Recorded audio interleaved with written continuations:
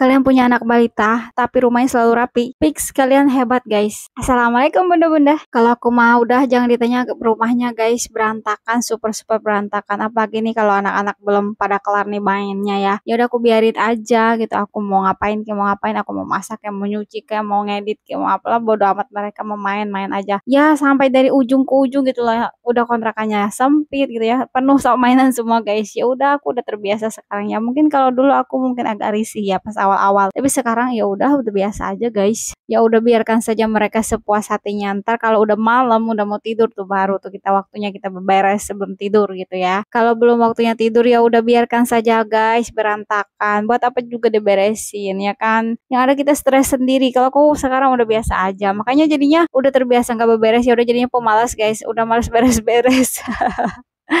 karena udah terbiasa udah enak lah udah nggak usah beresin ntar aja beres-beresnya. Ya udah akhirnya kebiasaan berantakan gitu lah guys. Ini tuh ceritanya kita tuh lagi meeting. Ini tuh disuruh tidur siang. Biasalah banyak dramanya ya kan dibujuk-bujuk dulu dirayu-rayu lah sedikit gitu kan. Dikasih rayuan maut gitu kan supaya mau tidur siang ya. Terus supaya mainannya tuh diberesin. Ceritanya tuh ini si Rizky ini habis makan. Habis itu kan dia main sebentar. Ya udah kata aku beresin mainannya waktunya kita tidur siang. Ya udah nih kita meetingnya lama ya. Lama banget pokoknya panjang kali lebar kali tinggi pokoknya lah ya. Kalau ular itu udah melingkar-lingkar ke mana nggak tahu.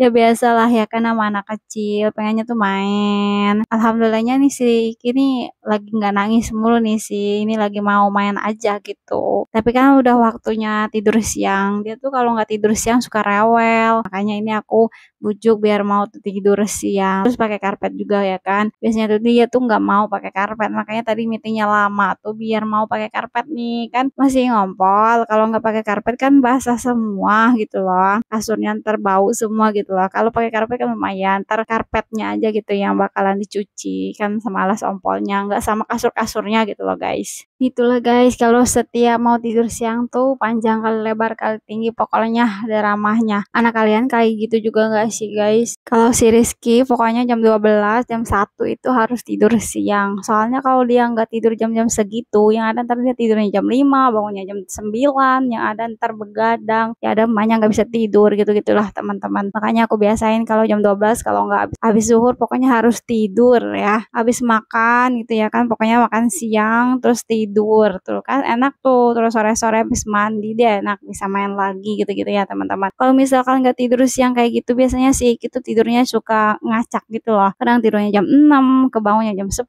malam yang ada waktunya kita tidur malah dia bangun ya kan? Yang ada repot kitanya ya kan? Nggak bisa tidur. Mending kalau sama bapaknya dia mau ya. Kalau si Rizky nih ya sama bapaknya nggak mau walaupun ada bapaknya mamanya tidur nggak boleh gitu loh. Jadi ya kan sama aja tuh aku nggak bisa tidur. Kira-kira habis ini kita bikin konten apa ya guys? Tulis di kolom komentar ya. Assalamualaikum.